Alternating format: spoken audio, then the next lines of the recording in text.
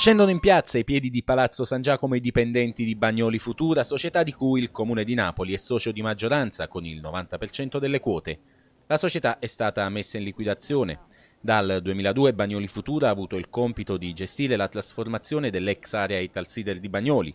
La decisione di metterla in liquidazione è scaturita dall'impossibilità da parte dei soci, comune, provincia e regione, di procedere a una ricapitalizzazione davanti a Palazzo San Giacomo, con tipici strumenti musicali napoletani come putipù e clicche ballacche, i dipendenti queste le loro richieste. Noi vogliamo eh, certezze, eh, risposte concrete da parte del Comune di Napoli che ci dica come poter mantenere i livelli occupazionali. Noi vogliamo non più promesse ma certezze. No, ma il sindaco a noi l'aveva anche scritto in una uh, lettera che aveva inviato a noi lavoratori lo scorso uh, luglio in cui diceva che si sarebbe impegnato in qualunque momento noi eravamo appunto appunto in crisi, ma ora bisogna passare dalle promesse ai fatti, quindi vogliamo sapere concretamente noi dove lavoreremo, questo è la, quello che, che chiediamo. Insieme ai dipendenti di Bagnoli Futura si sono anche radunate una ventina di donne appartenenti al Comitato Vele di Scampia che ha chiesto un incontro con un delegato dell'amministrazione comunale per chiedere la bonifica di un'area del quartiere che si trova vicino a una scuola,